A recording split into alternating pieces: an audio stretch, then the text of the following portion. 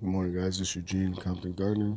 Today we're going to be forcing dormancy on the pluerry trees. In the front is a candy heart pluerry, and behind that we have the sweet treat down there.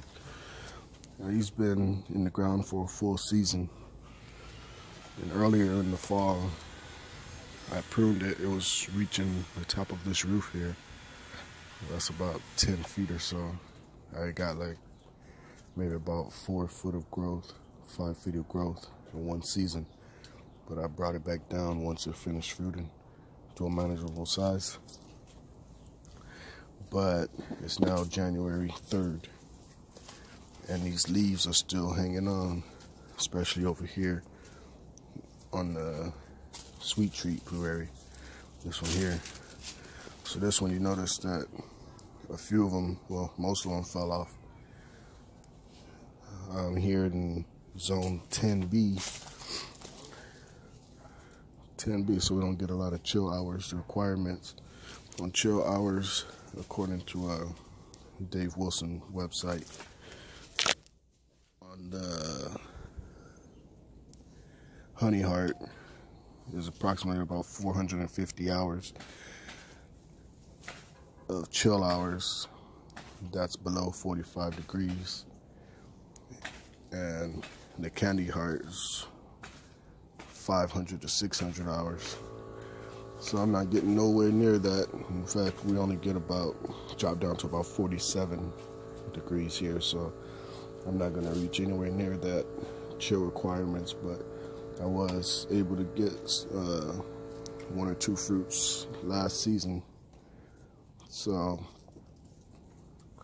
uh, but we're still able to, well, like I said, that was the first year. I shouldn't have let it fruit it, but I just wanted to taste it. So I got a fruit, a single fruit off of there. And uh, so this year we're just going to be focusing on getting this plant to go dormant. So I'm gonna do, I'm gonna come in here, just remove all of these leaves. Pretty simple to come off. Then these here, you can see all the flowering buds for springtime. So just remove all these leaves from here. This one will be the simple one because you can count the leaves on this one. The other one, hmm. But we're gonna get it done.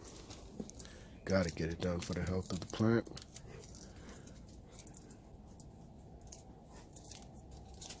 And for the sake of the fruit. Just peel off all of these. Just kind of pull them backwards, like inwards towards the plant. And they just come right off.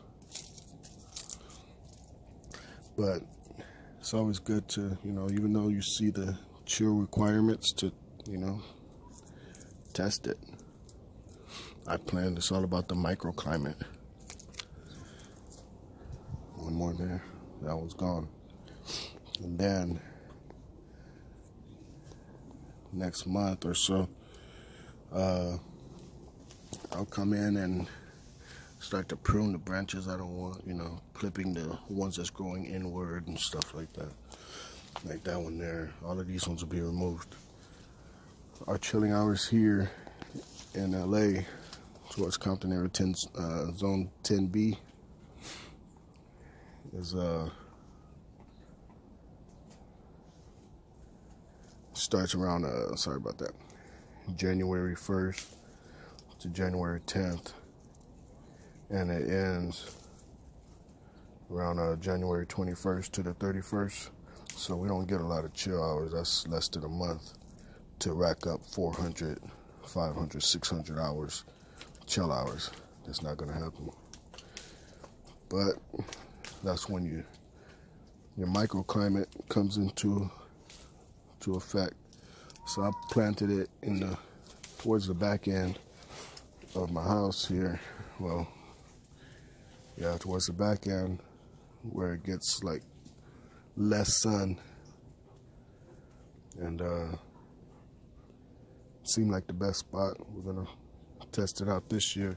It's next to where my fig is. You can see he, my fig drops all the leaves. That one does pretty well. Probably like two leaves still hanging on, but uh, that one does pretty well as far as going dormant in the winter. So I figured, you know, plant it in a cooler zone so uh, could drop the leaves. But I'm gonna get back to removing these leaves. All we're doing here, again, to just go backwards. As long as you don't damage the, the new buds, which is another thing that will happen that I noticed with my uh, my peach. I tried to force dormancy, but I did it too soon. Did it maybe in like uh, fall season. And what happened was it encouraged new growth. That wasn't good. That wasn't my intentions. But lesson learned from that. And now I'm just working on the plums. This is one of my favorite uh, favorite fruits here. First discovered it inside a grocery store actually. And from then, you know, just looked around for it, tried to find the plant, and I was able to locate them. So that was before I knew it was called a pluerry, because of course they had a different name on it.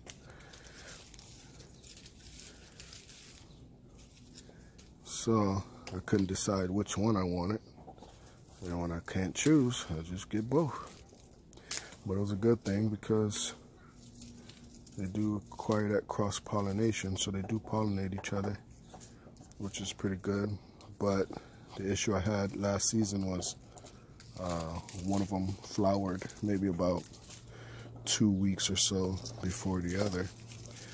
So I only got a, a short window of cross pollination.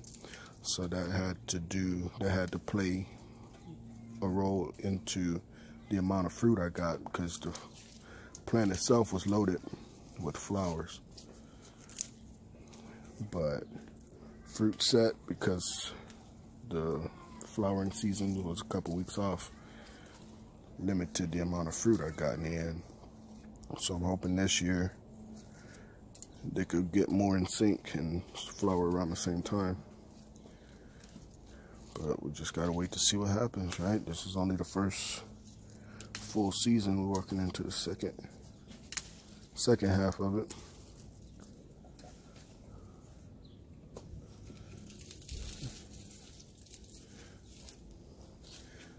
So, see that took a couple minutes, but got that first branch there. See how these are still green over here. This one's more dormant, brown over here. But these I have what's that, maybe about three feet, three and a half, four feet. And honestly, like, I think I'd want to just keep it at this height, but I'll let it get one more foot or so. Just to, you know, so I get more fruit per branch there. But that's pretty much it. I'll, uh, pause this video here and we'll come back when it's all all the leaves are removed so you can see how it looks. Benji over there in the background working on that bone. Benji, you working that bone? Yeah. I'll leave you to it. Alright, so that's it. Both of them are removed all the leaves from them. So again, just pay attention to your microclimate. Microclimate being, you know, your yard. Different areas of the yard, you know what, what side the sun rises, what side it's set, where you get the most heat or shade. You know. So this one is mainly in the shade where sun rises over here for a part of the day and then, you know, that's all the sun it'll get. So hopefully that increases my chill hours. But don't focus too much on what the card says, you know. When it tells you 450, 500 hours chill hours, don't get intimidated. You know, because the website says from zones six to nine. I'm in zone 10B. So you're saying I can't grow a blueberry? Try and stop me. So this one is doing pretty good.